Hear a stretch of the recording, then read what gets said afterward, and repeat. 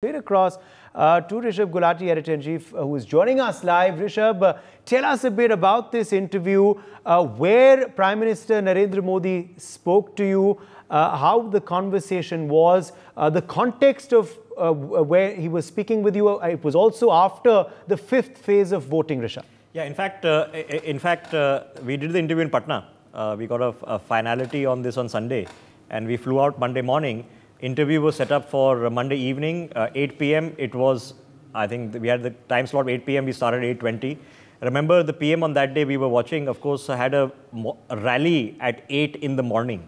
So it was a consideration and, of course, a conversation that he's been, I think he was in uh, Jagannath Puri before that, that he's been up since 6 in the morning.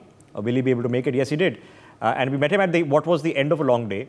Uh, his body language was pretty well sorted. He met us very well before the beginning. Uh, he answered all the questions that we, we, we put to him. He was very blunt. Uh, and afterwards, he chatted with us. We took some, we took some photographs. Uh, and then he was going to Raj Bhavan, where he had more meetings as he was spending the night in Patna. And now, as you know, he's in Kashi, uh, where he's been doing uh, today that uh, Sammilan with women. So it, it was the, the team that was operating to you know, accommodate this, very professional, very on spot. They're very particular about uh, things being done properly, about things being done on time, uh, and uh, no nonsense approach. Uh, so that it happened very smoothly. They were very cooperative when our camera team was petting, setting up. They gave them several hours to set up. They literally emptied out whatever uh, furniture from the office was required. They, they set up the entire place. Uh, including putting up the plaster it, it was at the BJP office in Yeah, at the BJP office. Okay. So all the all the where you're seeing the interview taking place, this was that was a conference room. They emptied out the entire conference room. They, they gave us full access uh, for almost eight hours that you set it up the way you want. Uh, we, of course, had to go through security checks as well and get security passes made. Uh, so all in all, it was, uh, it was uh, a pretty smooth and pretty professionally organized, uh, organized exercise that happened timely. he, even though he had a long day, he didn't seem to be in a rush.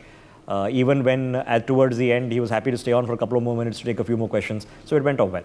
Absolutely. Uh, now we, of course, would want to know, Rishabh, uh, what do you believe were the main takeaways of Prime Minister Modi's exclusive conversation with NewsX? What were the big news points uh, and, the, and the main talking points of what the Prime Minister told you? Look, we're going to let the PM speak for himself on exactly what he said and intended to say. And you're going to hear that. Uh, but let's break it down on the larger conversation that this is being set in the last phases now of the election. Okay? This is no longer about the Congress saying appeasement in the name of secularism. This is about the Congress economic ideology being seen in toto, in full, to suggest that when you say redistribution of income, who do you intend to take it from and who do you intend to give it to? And the juxtaposition of the conversation of the BJP at the highest levels now Okay, we've interviewed the Prime Minister, the Finance Minister, the Foreign Minister. They are saying that you put the puzzle pieces together. Manmohan Singh says Muslims in this country should have the first access to all resources. Now they say they intend to take away your wealth, so they'll take it and give it. So they'll take intentionally then from Hindus and give it to Muslims. Now that's the conversation that seems to be set. The second part of the conversation is not that secularism was something of appeasement, but in fact secularism was something that was said in order to actually practice communalism. Now, practice communalism then against whom? Then against Hindus. Why the Ram Mandir could not be built immediately after independence? Why was it that reform did not happen in Muslim communities, in education, in personal law? Why was it that minority education institutions were allowed, but in places where Hindus are a minority, for example in Kashmir, they were never allowed? Why was uh, special powers given to the Waqf board still today, okay, that don't apply necessarily uh, uh, to, to Hindus. So in terms of discrimination on the grounds of religion, the conversation is not just about who appeased who. The conversation is, did communalization happen?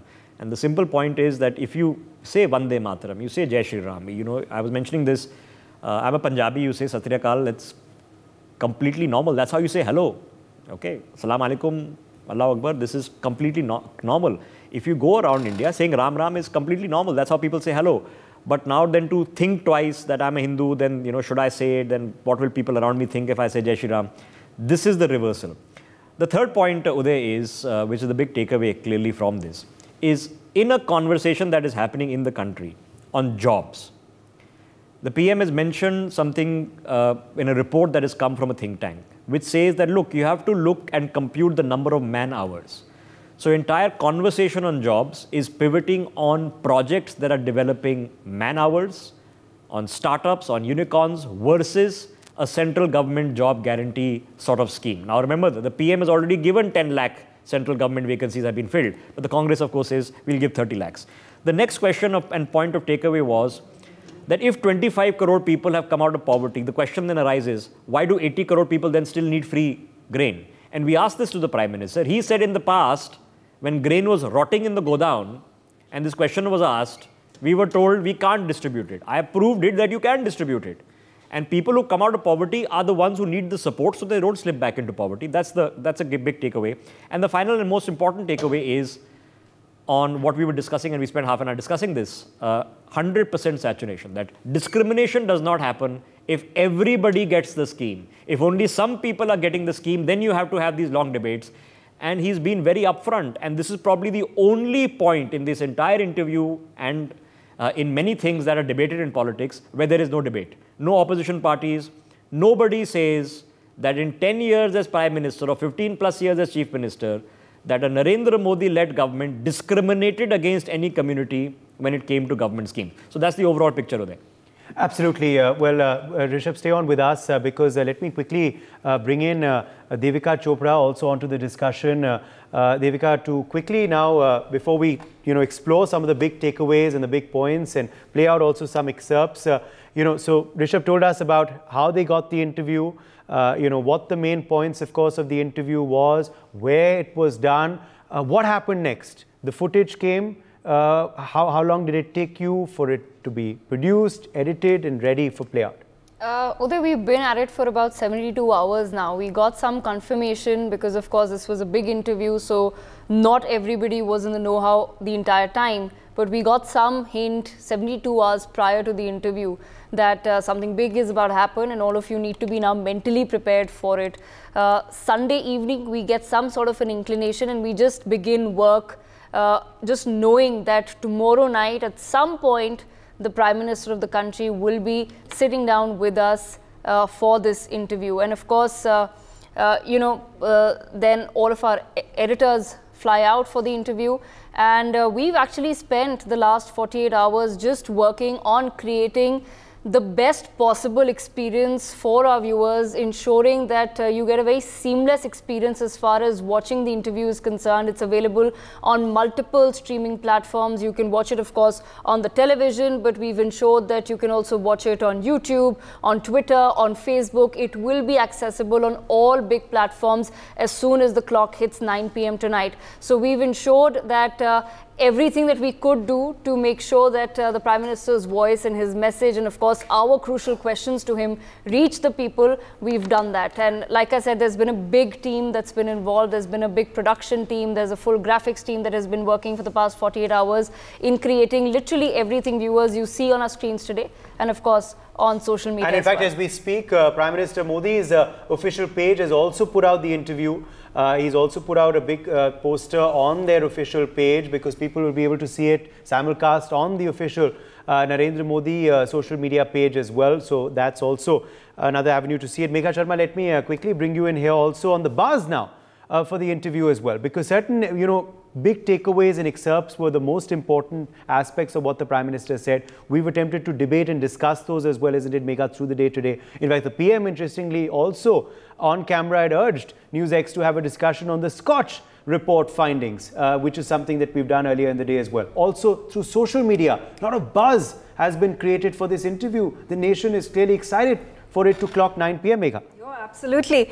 The nation is excited. And, uh, you know, I was privy to actually watching the interview, listening to it, and a lot of those talking points. And he was talking about the Skoch report. And that's interesting because up until now, there has been the opposition that continues to attack the Prime Minister, continues to attack the government of India, that what are the figures, what are the statistics when it comes to the number of jobs that you have created, the employment opportunities that you have generated. And here's Prime Minister Narendra Modi talking about the Skoch report. Now, this is a think tank that is based out of New Delhi and it has made quite the revelations. It has calculated the person hours, the person year hours is what the Prime Minister speaks about and we'll discuss this uh, in detail and we've already talked about it a little bit and, and how this equates into creating jobs which is 51 crore on an average generative employment in the country. So, so that's one strong point as a counter that was brought forth by Prime Minister Narendra Modi.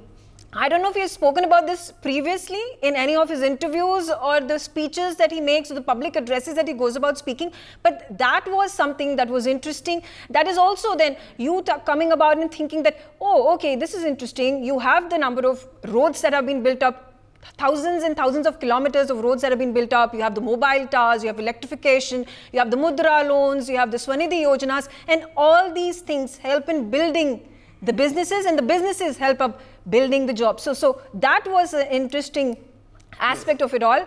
And uh, I, will of course uh, encourage my viewers to go uh, stay on NewsX and, and at 9 p.m. Uh, that yes. will be a big revelatory. Let me uh, bring you in here as well. Uh, on what you believe stood out in this interview. What's the most interesting aspect for you, Vineet, in this interview today? Well, uh, well, first of all, I think the Prime Minister wore his heart on his sleeve.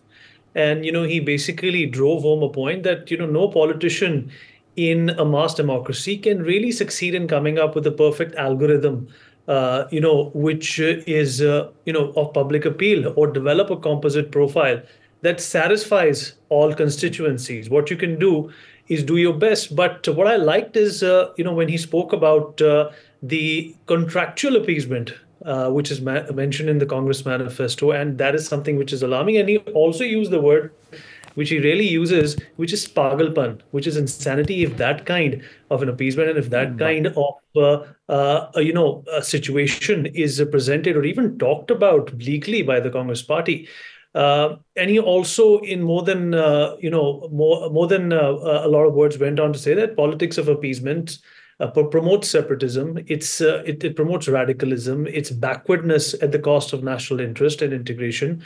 Uh, and he also, you know, mentioned what is actually wrong with the Congress Party. He said that the Congress Party has basically vitiated the social and the political environment of India for nearly hundred years now.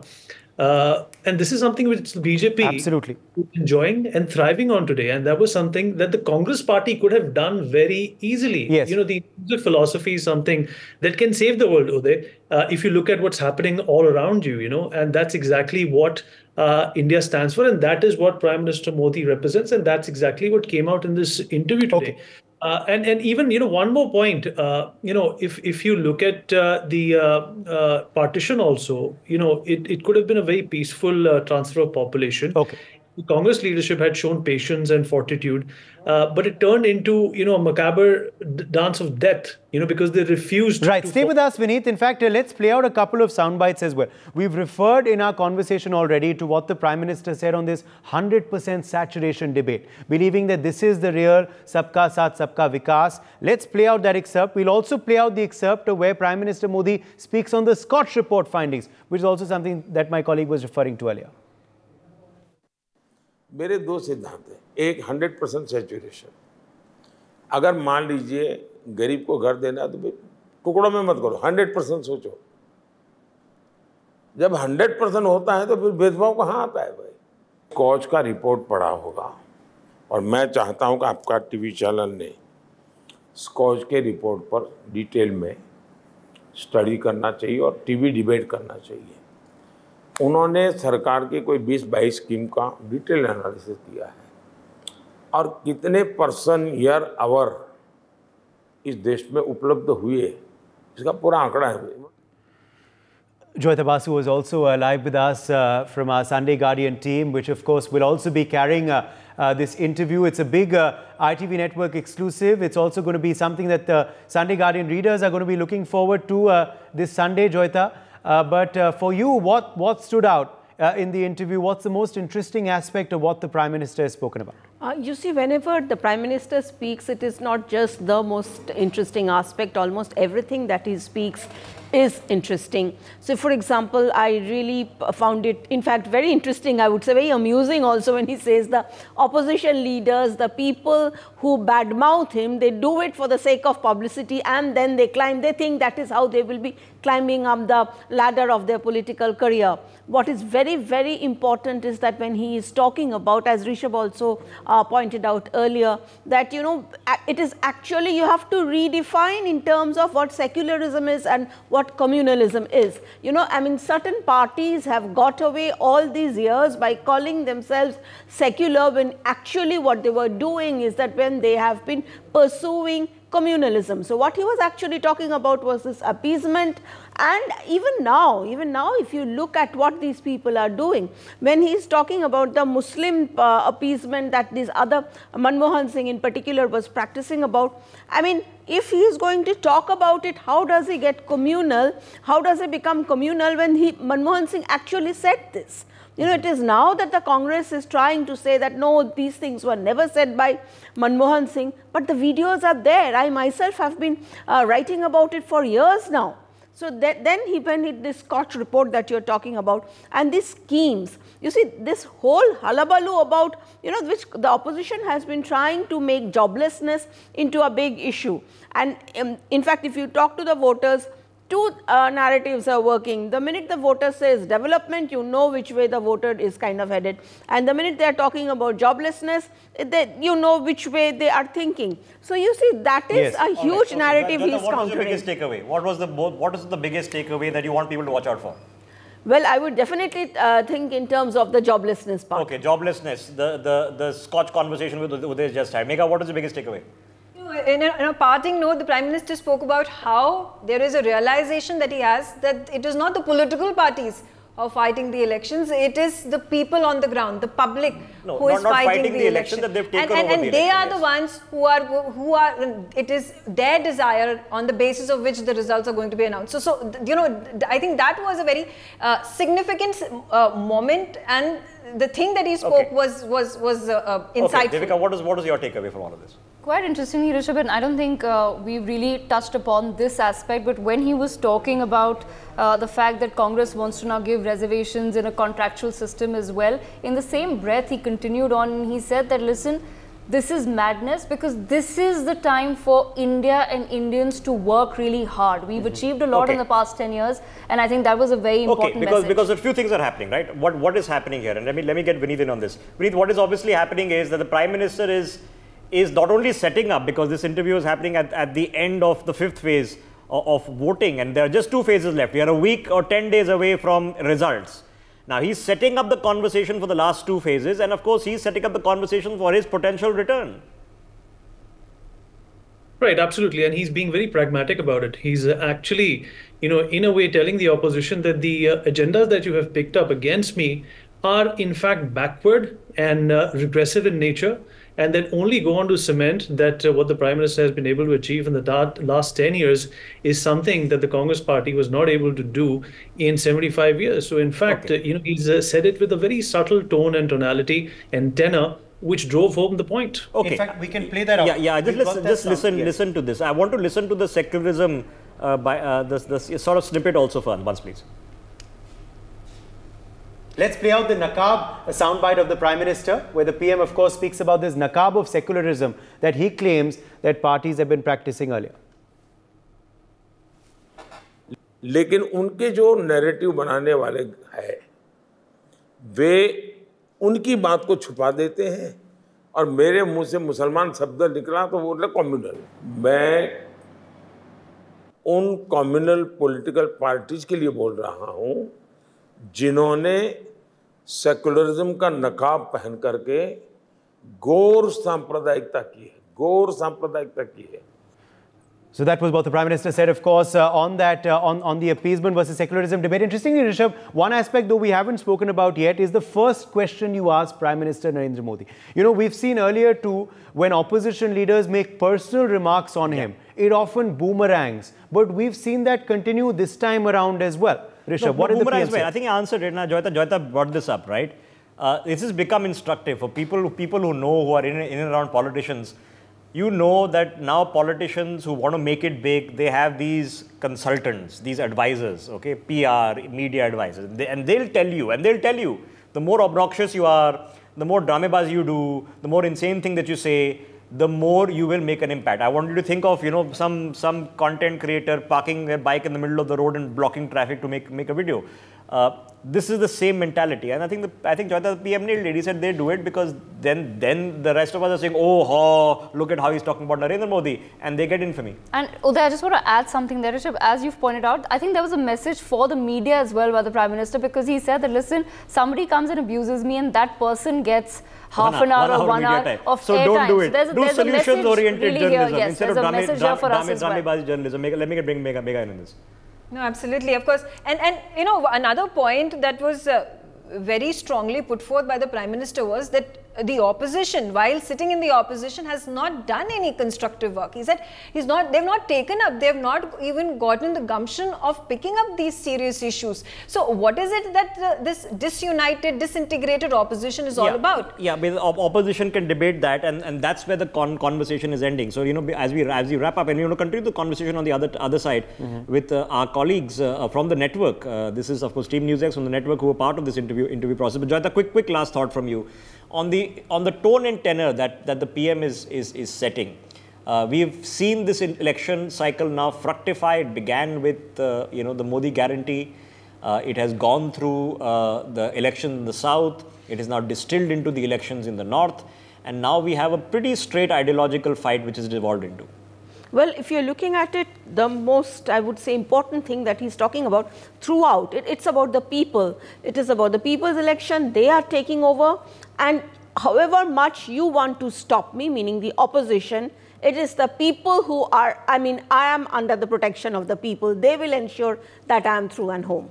Yeah, he, uh, he, he seemed confident. Now, Yes. he seemed confident on the logic that uh, that uh, that was a projection of confidence, or he's actually he seemed pretty relaxed. He seemed to be in Yes. control, uh, and that's practical. Okay. For more such videos, subscribe to the NewsX YouTube channel, hit the bell icon.